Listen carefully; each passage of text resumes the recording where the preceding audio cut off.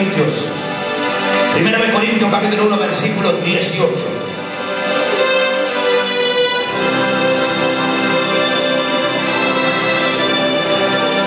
Pastor, porque hay que diezmar, porque la iglesia tiene que crecer. ¿Cuánto dicen amén? Así encontramos el teclado. Este que usted ve acá, que es chiquitico, que es una caja de fósforo. Yo creo que el zapato mío es más grande que el teclado. ¿Y cuánto lo pagó, pastor? 200, 300, 10 mil pesos, hermano. ¿Cuánto dicen amén? Todo acá así, 10 mil, 5 mil, 20 mil. Yo no me muero porque Dios grande. Amén. Porque Dios sabe a quién le puede dar cosas grandes. Pues Dios no le va a dar a alguien que no soporta cosas grandes. ¿Cuántos soportan cosas, desafíos grandes, hermano?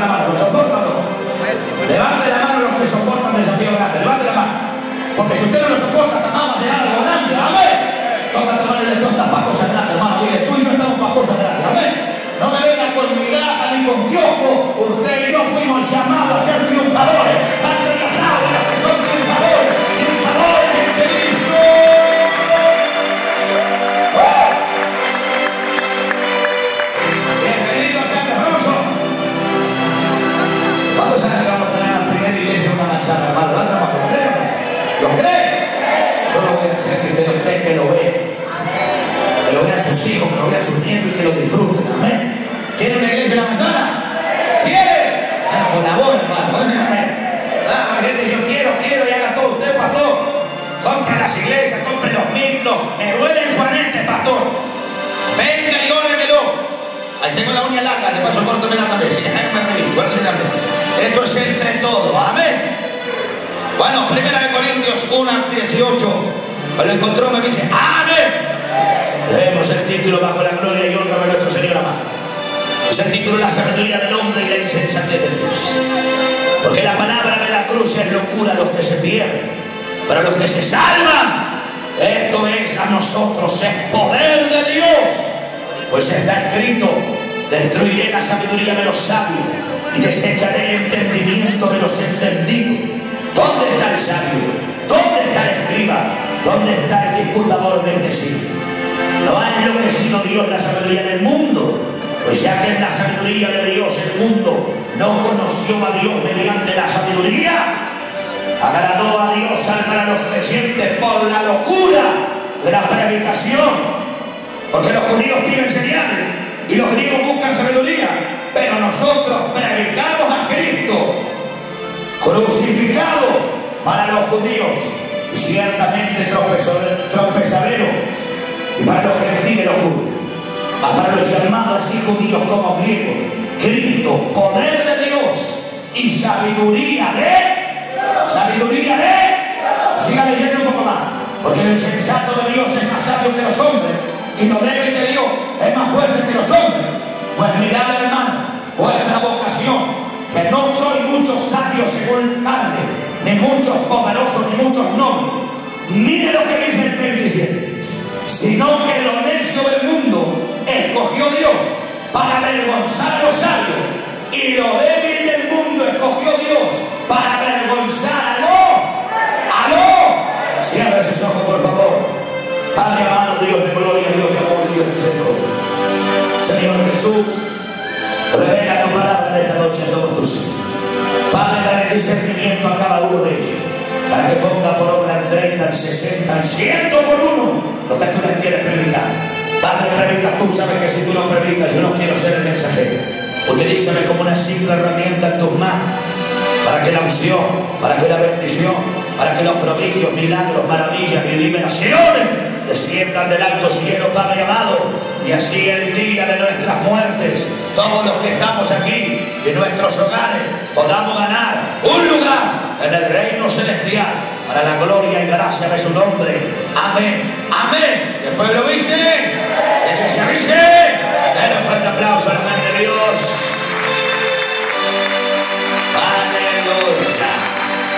Mira tu hermano y hoy serás libre, hermanito. Dile, hoy te toca, hoy te toca comer. ¿Cuándo comer?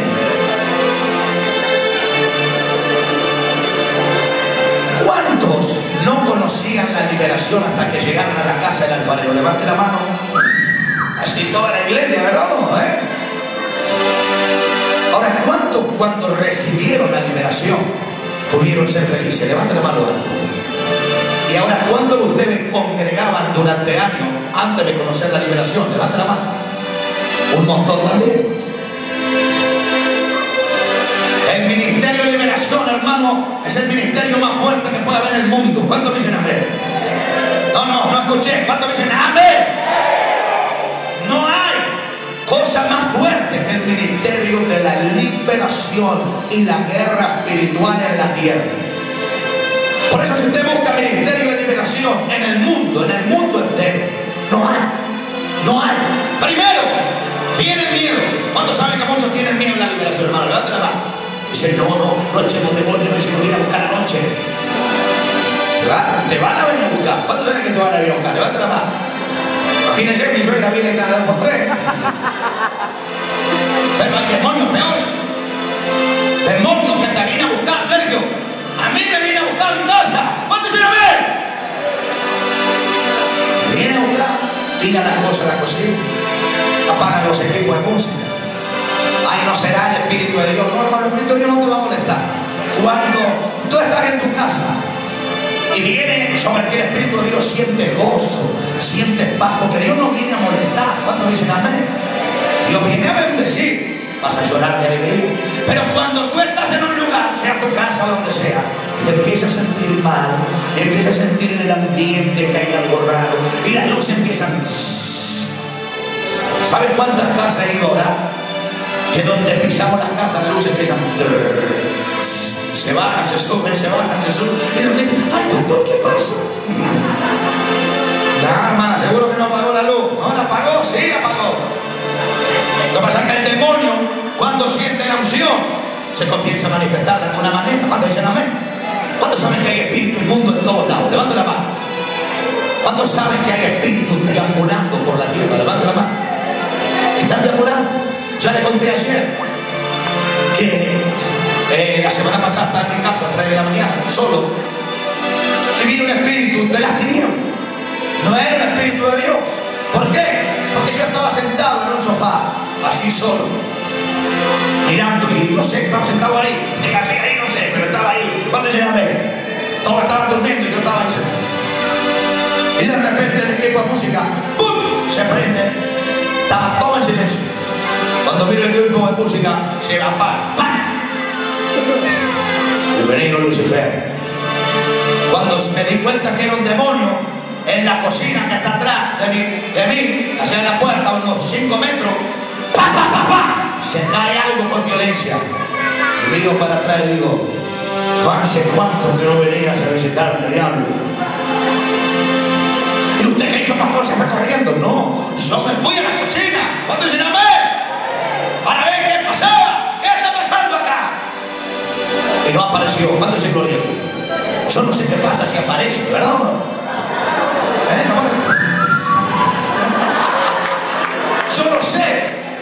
Sé que en ese momento te hace calentar el diablo y yo quiero ir. Lo mismo me pasó en otra casa, en la drogué. No, volvía loco, loco. ¿Cuántos vivieron con un demonio en su casa que no sea su suegra? Levante la mano. Pero te vuelve loco, ¿verdad? A la pastora la ahorcaba, hermano, la volvía loca. Te hablo, teníamos 24, me parece, 25 años. Ni sabíamos que íbamos a ser pastor. Pero todo fue con un propósito de Dios para que hoy entendamos que es la liberación. ¿Cuánto dice gloria a Dios? Entonces, lo que ocurría en esa casa era que usted entraba a la casa y ya sentía algo raro. Las luces, allí era más fuerte la posesión diabólica. Las luces se prendían, se acababan, se apagaban. ¡Pum! Entonces, de repente, mira, ¿qué pasó? Cortaron la luz y volvía. ¡Pum! Era solamente de una pieza o de un comedor, no era en toda la casa. O sea, era algo que lo prendía y apagaba. Cuando dicen amén. Luego la gente venía a la casa a visitarnos, mi madre. Y me contaba que un día se estaba mirando al espejo. Mi madre, y siente que alguien de atrás le pega así. ¡Fa! Y le pega, le revuela el pelo así, se da vuelta, no había nada. Y ella había escuchado lo que estaba pasando. ¿Qué hizo la vieja? Salió corriendo.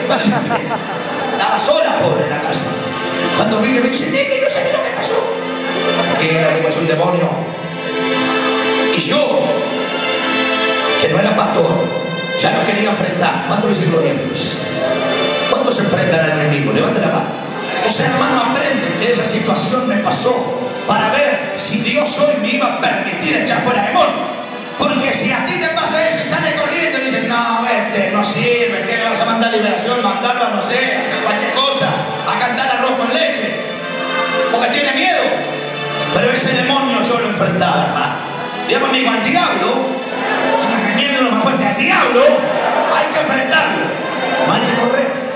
El que tiene que correr es él. ¿Por qué? No porque seas tú, o sea yo, o sea quien sea, sino porque aquel que viene con nosotros es mayor que el que viene contra nosotros.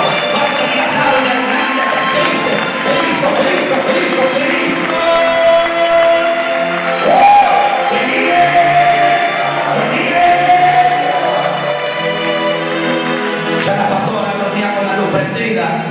y yo odio dormir con la me siento estar todo oscuro me tenía repodrido. Me acuerdo que un día le dije a un par de hermanos en la iglesia que iban y digo, hermanito, pueden venir, porque hay algo en la casa. Hay algo que me está volviendo loco. Vamos a hacer una vigilia. Bueno, dijeron algunos con la guitarra, salían los cancheros. Ah, vamos. Cuando vinieron empezamos a tocar la guitarra. Todo en el comedor, no me olvido nunca. Déjalo cantar todo. ¿Qué? Déjalo que hermano. ¡Hey,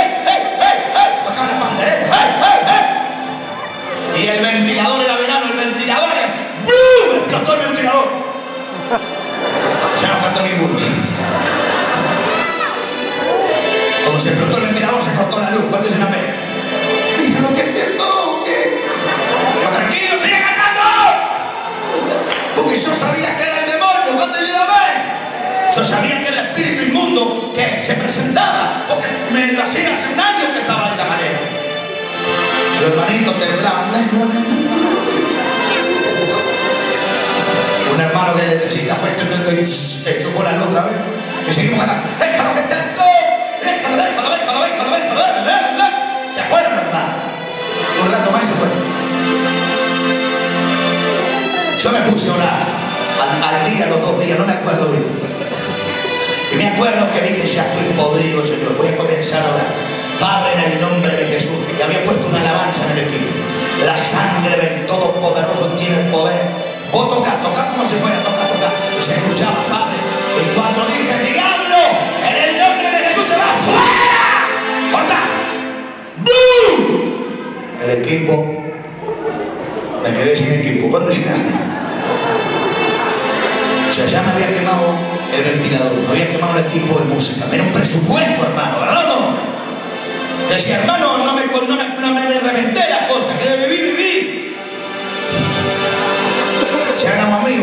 pizza, ¿eh? De verdad, hermano, se había acostumbrado. Hoy juegan, juega arriba, partido. No me quemé la tele, no sea demonio. Y así, y así, y así. Resulta que en la casa al lado vivía una vieja era budista. Nosotros habíamos comprado la casa hace poco y yo escuchaba música, no me acuerdo qué día, escuchaba una música, unos tambores. Tum. Pero cuando yo escuchaba la música me, me, me faltaba, me ponía peor. No sabía qué me pasaba, qué está pasando. Y un día fui a espiar a ver qué era. Y había libustrina y cuando miro, estaban todos en una ronda, todos, Walter agarraba la mano así, unas venas Yo así que son ustedes, ¿no? Digo, estos son los que traen los bicharracos. Y como todavía era tiempo, fui a agarrar una escopeta que tenía en mi casa. Saqué la escopeta así, la mató a ¿Dónde vas? ¡Callate, le van a ver! Porque ya, o sea, encima que estaba saturado por el demonio,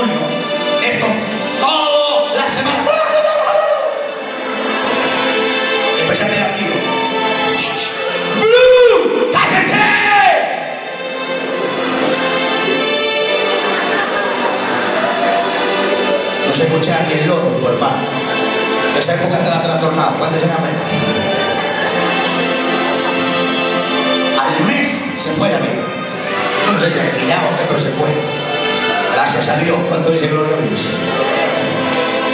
Y me acuerdo en el fondo de mi casa vino un pastor, le digo, pastor, hacé algo, orá, hagamos algo, no sé qué hacer, hagamos lo, que vos quieres. Pues ya estoy podrido. Amén. casa contento ya, digo, y se escucha que se mueve una silla, se, ¡eh! Como cuando alguien se levanta, veo que se, hace el rechillo del piso. Digo, muchacho, está la, la pastora, está Sabrina. Sabri, Sabri. Nadie. ¿Quién era? Mi amigo el demonio. Me paré en la cocina y dije, me tenés podrido. En serio, estoy harto. Cuando digo así, hermano, en, la heladera había un tupper y el tupper se pa, pa, pa, pa, como que se lo tiraron así. Pues ahí está. Hermano, por mi vida, por, por el Evangelio, que la canilla empezó a salir agua sola de una manera, con una violencia. Pero encima me enfrentaba, no sabías agarrar la canilla para agarrar la trompada, porque no se podía. ¿Cuánto dicen amén? Me levantaba la madrugada, solo, me levantaba madrugada, solo, en el comedor, decía, ¿a dónde está? ¡Aparece! Nada, ¿cuánto dicen amén? Pero que quería aparecer, quería. No se lo permitían del cielo. ¿Cuánto dice gloria a Dios? Si ya no quería pelear, hermano. Ya tenía podrido, ¿verdad o no? O sea, que uno se cansa. Me acuerdo que gritaba, esta casa es mía, la compré yo. Y acá vivo mi hija, mi esposa y vos. Me seguía burlando. Vino el pastor un día al fondo de la casa. Y yo siento algo feo por acá al fondo, en el fondo de la casa. Bueno, vamos a orar. Padre, en nombre de Jesús, Padre, un día un paredón para dividir la casa del vecino con la casa mía. Y viene un albanín corriendo me dice, mirá, mirá, mirá, mirá lo que encontré. Hermano, había escondido, mientras yo hacía el pozo, encontraron una copa, pero no prácticamente así era, así, grande. Adentro estaba lleno de fotografías, con todo un tercebelecho y una porquería, y todo un pañuelo rojo amarrado. Me decía, yo no lo toco, yo sí. Y lo agarré y lo levanté y con que acá estaba vos. Ahí estaba. ¿Cuánto dicen amén? Yo al fin te encontré, desgraciado. Yo sabía que Dios me iba a mostrar contigo. ¿Cuánto dicen amén? Lo metí en una bolsa, hermano. Esperé que venga el basurero. Le dije, Señor, esto para usted. Y se lo llevaron. Hermanito querido, después de ese día, nunca más, pero nunca más pasó nada en esa casa. ¿Qué te quiero decir? El diablo existe, pero también existe la presencia de Dios que saldrá de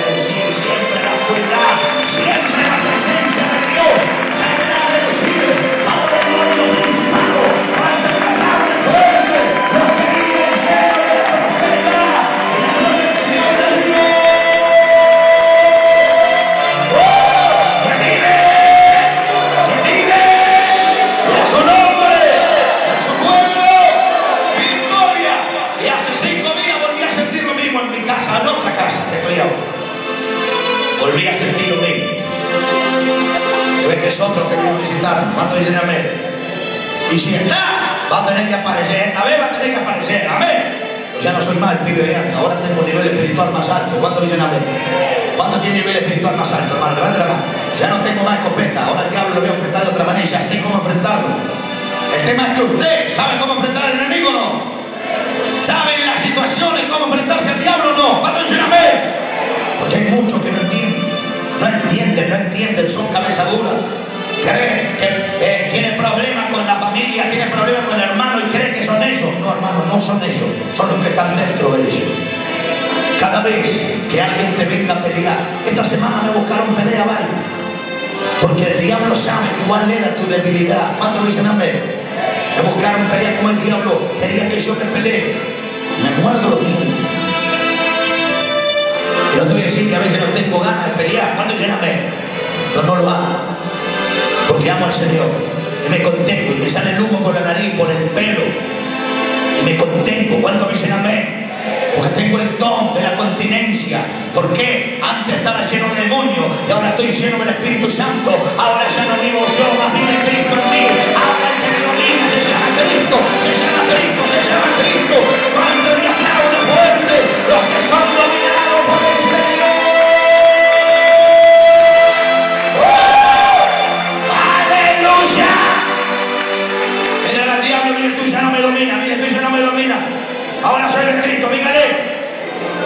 amén, ahora somos del Señor.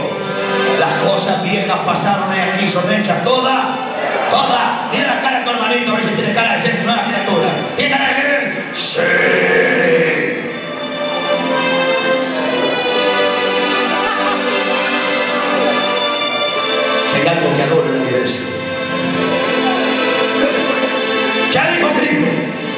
yo le dije al principio de la prédica que no hay cosa más poderosa que la guerra espiritual. ¿Cuántos dicen amén? La guerra espiritual hace descender el cielo a la tierra. La guerra espiritual hace que el cielo se abra y comiencen a bajar ángeles. Pero no con cositas bendeciditas, con brillantina del cielo. No, con espada, hermano doble filo. Nosotros manejamos lo más fuerte del cielo. ¿Cuántos dicen amén? Nosotros nos han dado ángeles barradores, a nosotros nos han dado ángeles cariñosos. Nosotros nos dieron los ángeles guerreros del cielo. ¿Cuántos dicen gloria a Dios? Que bajan con espada, que bajan con hacha para enfrentarse al infierno que se desata en la tierra. Para que los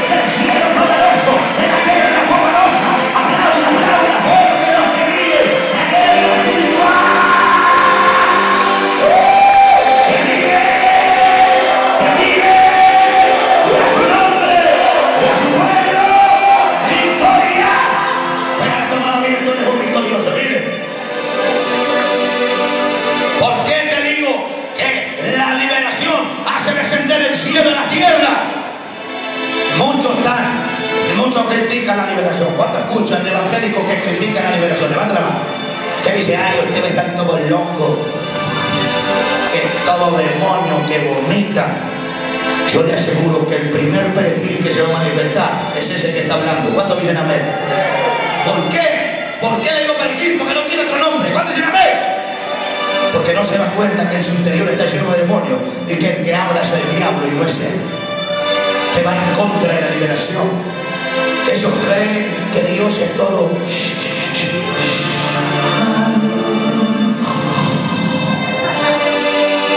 Y somos hermanos de los católicos. Ese no es mi hermano, es un endemoniado. ¿Cuántos dicen amén? Mi hermano el católico no es. ¿Cuántos de ustedes no es hermano el católico, hermano? Levanten la mano. Y los demás que son están haciendo la procesión del Papa Francisco. ¿Cuántos saben que los católicos no son hermanos nuestros? Hermanos, levanten la mano. Están endemoniados. ¿Cuántos dicen amén? Porque están atrás de la idolatría. Y donde hay idolatría no hay presencia del Señor. Ya le dije que el cura que vino la otra vez acá a pedirme el fuego, le dije, ¿querés fuego? Arrepentite primero si querés fuego. ¿Cuántos dicen amén? Evangelio, cura, si quiere fuego. Porque lo único que vivirá en la iglesia católica es hielo y nada de presencia. Pero si te convierte al evangelio, serás un poderoso en el reino de Dios, en el fuego eterno, en el fuego de bendición.